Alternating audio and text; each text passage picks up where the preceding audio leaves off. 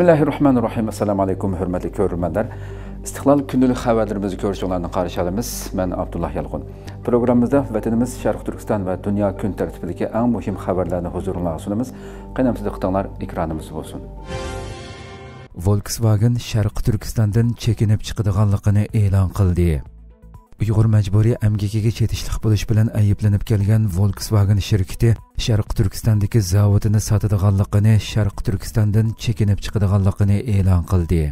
Fransiya xalqaro radiosining xabarida bildirilishicha germaniyaning avtomobil magnati volkswagen shirkati 27 noyabr bayonot e'lon qilib urumchidagi tarmoq zavodini va turpandagi sinoq yo'lini xitoy shirkatiga setib etadiganligini bu qarorining iqtisodiy sabab va strategik tangshish sabablik bo'lganligini o'ttirg'a qo'ygan volkswagen shirkati uzundan buyon kishilarning diqqat nuqtasi bo'lib kelgan bo'lib buning sababi shirkat 2013 yili urumchida zavod qurgan va xitoydagi sheriki shanxay avtomobil guruhi orqali bu zavodning peyini saqlab qolgan. Ma'lum bo'lishicha volkswagen shirkati sharq turkistondagi tarmoqini shanxay avtomobil tekshirib baholash texnikasi tadqiqot markazi cheklik shirkatiga setib berdi ekan. Xitoy tashqi ishlar ministrligi bayonotchisi mavning bugun muxbirlarning bu haqdagi savoliga javob berib xalqarodagi bir qism siyosiy kuchlarning sharqi turkiston va majburiy amgak haqida o'sak so'z tarqatganligi maqsadining bo'lsa sharqi turkistonning taraqqiyotini to'sish ekanligidek sapsatilarni takrorlab bildirladi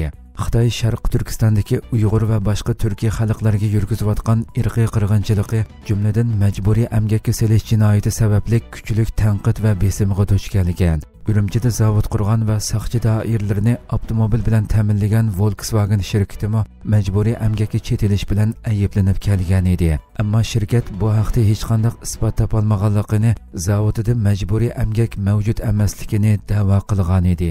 Bu yilning beshida germaniya sodi gazeti 2019 yili Амибаб shirkatining turpanda ta'sis qilgan sinoq yo'l va boshqa yo'l qurilishlarining majburiy amgakka chetilishi mumkinligini xabar qilgan edi.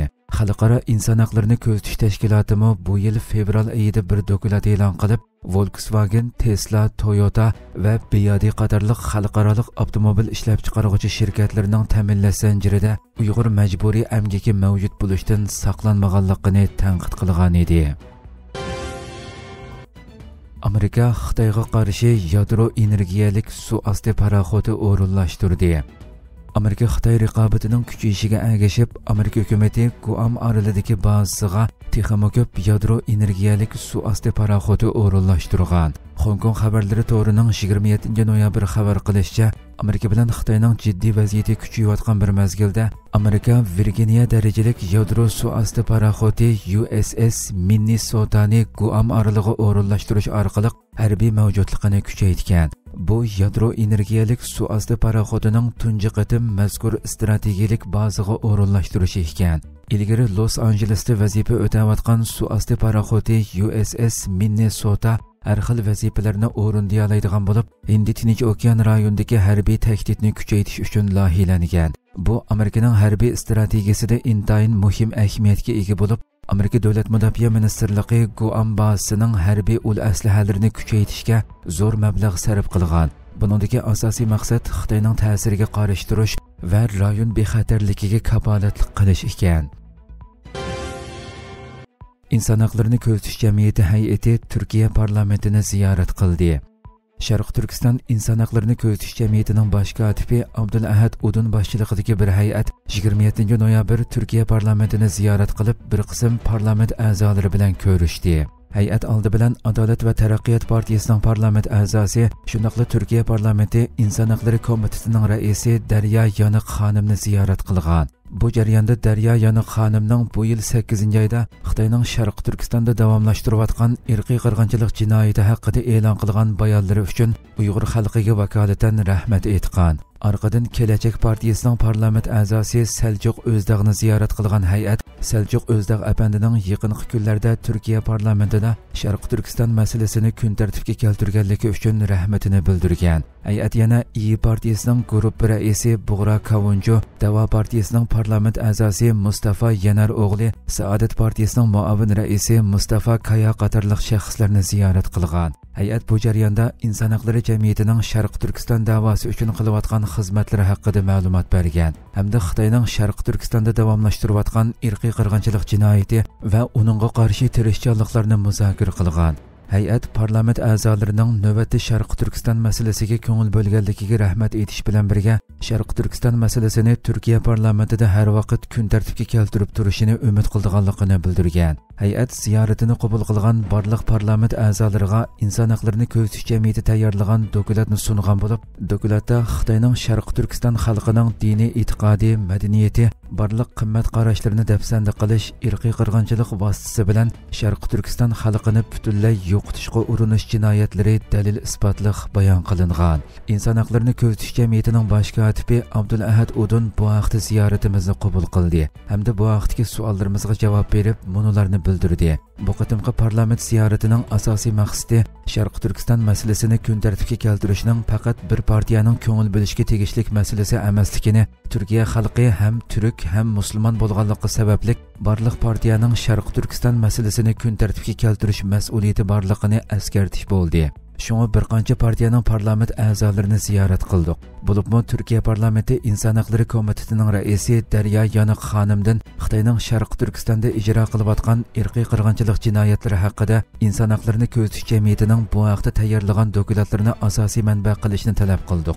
Bu masalada inson haqlarini asosiy tema qilgan asosda qanday qilib xitoyga besim qilish orqali sharqi turkistondagi inson qalbidan chiqqan dafsandichilik va qirg'inchilikni yengillatishga tirishish parlament a'zolari orasida xitoyning sharqi turkistondagi irqiy qirg'inchilik jinoyatini kun tartibga keltirish qizg'inligi yaratish uchun harakat qildik. Abdulahad apandi yana 10 dekabr yetib keladigan xalqaro inson haqlari kuni munosabati bilan e'lon qilmoqchi bo'lgan xitoyning sharqi turkistondagi jinoyatlar haqidagi yangi dokladini tunishtirganligini hamda parlament a'zolariga faoliyatga qatnashish haqidagi taklifnomani sunganligini shundoqli xalqaro inson haqlari kuni munosabati bilan o'tkazmoqchi bo'lgan faoliyatni har jihatdan qo'llab quvvatlashini talab qilganligini bildirdi gollandiya parlamenti tutish buyrug'ini ijro qilish qonun loyihasini qabul qildi gollandiya parlamenti xalqaro jinoiy ishlar sudining isroiliya bosh ministri netanyahu va sobiq davlat mudofaa ministri golland ustidan chiqargan tutish buyrug'ini ijro qilish talab qilingan qonun loyihasini qabul qildi gollandiya parlamenti tashqi ishlar ministrligining 2025 yillik hamchoti muzokara qilinayotgan jarayonda o'ktichi partiyalarning parlament a'zolari sungan isroiliya bosh ministri netanyahu va sobiq davlat mudofaa ministri golland ustidan chiqarilgan tutish buyrug'ini ijro qilish to'g'risidagi qonun loyihasi ko'p sonliq ovoz bilan qabul qilindi.